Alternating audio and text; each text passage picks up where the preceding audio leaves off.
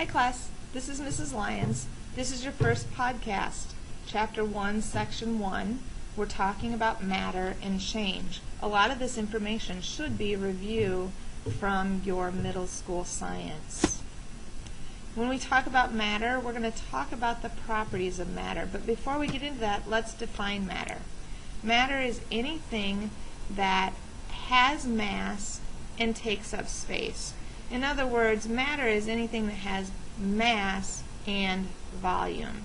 Mass is defined as the measure of the amount of matter. Volume is how much space that matter takes up. Okay, so just some pictures here. Large boulder, we know that this, if we were to take the mass of this, it definitely has mass. And it's taking up space.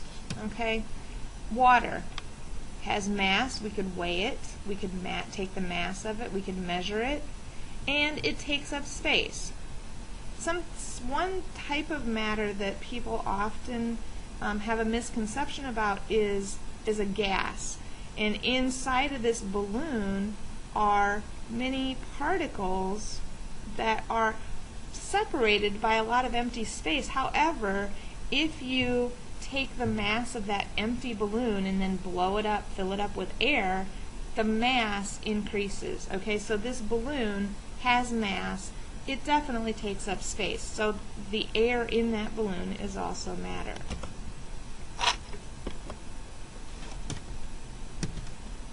So what what is matter made up of? The smallest unit of any element is the atom okay? And we're going to talk a lot about a, a, bunch of different elements and different types of atoms. Okay, an atom is the smallest piece of an element that has the properties of that element. An element is um, a couple of things we need to define as an element. An element is a pure substance.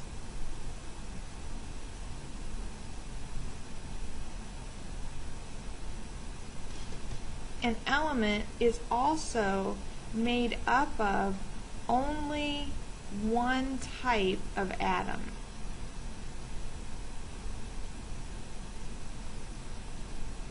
Okay, so there's only one type of atom found in an element. Some examples of elements, um, things that we're probably familiar with, iron, if we abbreviate iron, and we'll talk about these abbreviations, Iron is Fe, if we want to write it in chemistry shorthand. Um, oxygen, the essential element in the air we breathe. We abbreviate it just O. Um, lots and lots of elements, okay? Hydrogen is another example of an element. Notice these things all only have one name, okay? If we look at the periodic table, something you're going to become very familiar with by the end of this class, the periodic table lists, and if we look here at this example, there are 118 spaces on the periodic table. And some of these last elements here, some of them have been discovered, some of them have not actually been documented as existing. But many of the up most of the other upper elements have been isolated, identified, the properties have identified. So if you look, there are a lot of elements. Zn is zinc. Okay, nitrogen is N. All of these are elements. They're a single type of atom that makes up that particular element. Another type of matter is a compound a compound differs from an element in that a compound is made up of two or more elements. I should also add that a compound is a pure substance. Okay, and we're going to talk about pure substances and mixtures later on, but keep in mind that a compound is a pure substance. The thing about these compounds, we said they're made up of two or more elements. These elements are bonded together chemically. Okay, so that they form one, one entity, one thing, one compound. Some examples, things that we're very familiar with. Water is a compound. The formula for water, you should all know this, is H2O.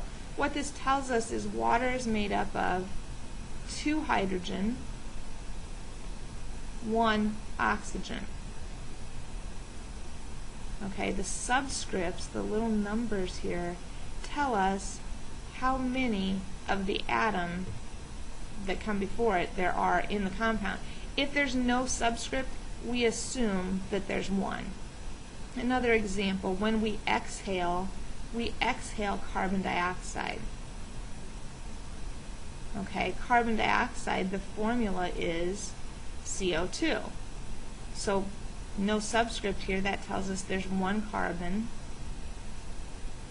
The 2 here tells us there are two oxygen.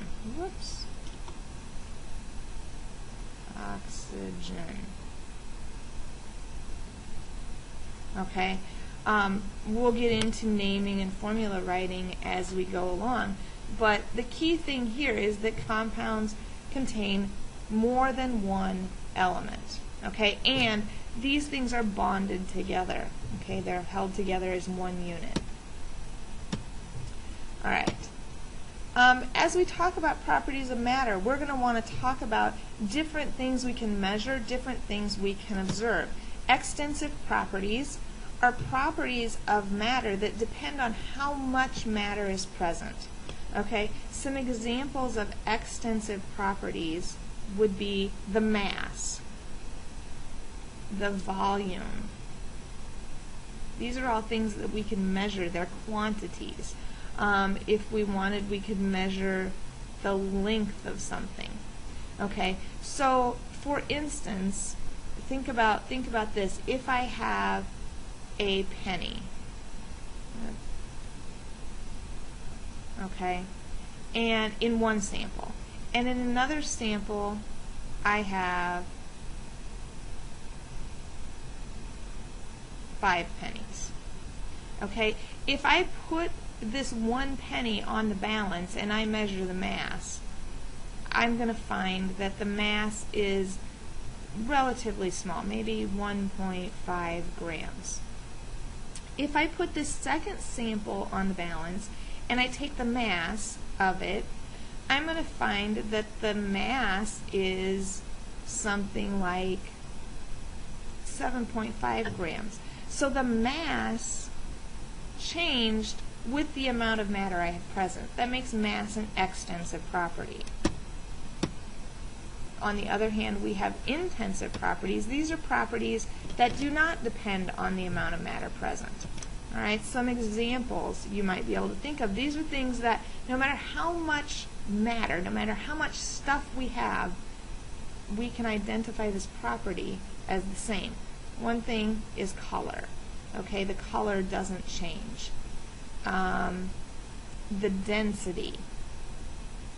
It doesn't matter, and we'll talk about exactly what density is later in the unit. Density is a measure of mass per volume, and that's something that stays constant with a sample. Um, the boiling point, in other words, the temperature where the substance goes from a liquid to a gas if we have a very small sample or a very large sample, the boiling point stays the same. Okay, so these are all examples of intensive properties. Next we're going to talk about physical properties. Physical properties are properties that can be observed or measured, so they can be intensive or extensive, without changing the identity of the substance. Okay, so some examples of physical properties are, again, all of those intensive and extensive properties we just talked about. Color, mass, density, boiling point. All of these can be measured without changing the substance. Okay, we can observe them without turning the substance into something new. Okay, so for example, I have I have a sample here. This is sulfur. Okay, if we were to observe this sample, we would say, first of all, it's a solid. Okay, that's its state. It's a solid at room temperature. We could observe that it's yellow in color. Um, we could we could break it into smaller pieces, and if we tried to break it, we would find out that it's brittle, meaning it breaks into pieces. It it doesn't. You can't smooth it into longer, bigger, uh, thinner pieces. Um, we could measure the boiling point. We could heat this up and get it to go from solid to liquid and measure the point where it where it boiled. We could weigh it and measure the mass, so we can observe all of those properties of this sulfur. Here's another example. Um, this is copper. And again, we can make some observations about that copper. We can look at it's kind of shiny. That's a property. It's it's copper colored or orange or reddish orange. Um, it's kind of bumpy, not very smooth if we tried to break this, we would find that this doesn't break into pieces easily. It's, it's not brittle like sulfur. Um, we could measure the boiling point if we could get the temperature up high enough. We could take the mass. Okay, so those are physical properties. Keeping on this, the track of physical things, things that don't change the identity, we have physical changes. Physical changes are changes in the substance that doesn't involve a change of the identity. Okay, so physical changes, essentially another way of saying physical changes is saying a change of state. And by state, we're talking about the three states of matter, solid, liquid, and gas. Okay, so let's let's look specifically at those three states of matter, and then we'll talk about the physical changes. There, I have a, a, a physical change of melting. Okay, um, physical changes, changes of state, change of one substance from one state to another. Okay, so let's look at these states of matter. Solids, solids. This should all be review. Have a definite shape. They have a definite volume the particles in a solid are packed close together. Okay, so up here in this picture we have each of these balls is a particle, is an element or a compound. And when we have a solid, these particles, notice they're packed, they're packed tight together. There's no empty space between them. Okay? As a result, there are some strong attractive forces because they're touching each other, they feel each other. If one particle moves, the next particle feels it. In a solid, there's very little movement. There's um, vibration. The particles kind of are so close together that they kind of move, but they don't really. They don't really move a lot as we see in other states of matter. All right. The second state of matter is liquid.